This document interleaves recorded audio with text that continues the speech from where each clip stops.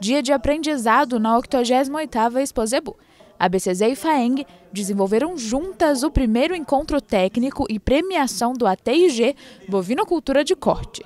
Reunindo produtores, técnicos de campo e estudantes, o encontro levou mais informações sobre os trabalhos desenvolvidos pelo Programa de Assistência Técnica e Gerencial, além de palestras sobre melhoramento genético e diagnósticos da pecuária de corte em 2022. Mostrando o que é, quais são os, os, os benefícios que um touro reprodutor melhorador pode trazer para as fazendas de, de, pecuária de corte, também de pecuária de leite, mas aqui no foco de pecuária de corte.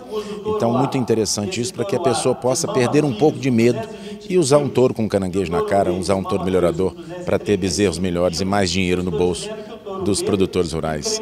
Para os produtores, que vieram de diversas regiões do estado, os conhecimentos adquiridos no encontro técnico podem representar uma mudança na forma de lidar com a criação. O conhecimento é a ferramenta que a gente precisa estar sempre aprimorando, melhorando. Né? E aqui Hoje, muito conhecimento aqui, muito boa palestra. Ao fim do evento, os produtores que apresentaram os melhores índices no programa TIG foram premiados, além de técnicos de campo e superintendentes que foram reconhecidos por seus trabalhos. Nós usamos vários indicadores produtivos e econômicos para avaliar produtores que tiveram um desempenho nos últimos dois meses superior aos demais.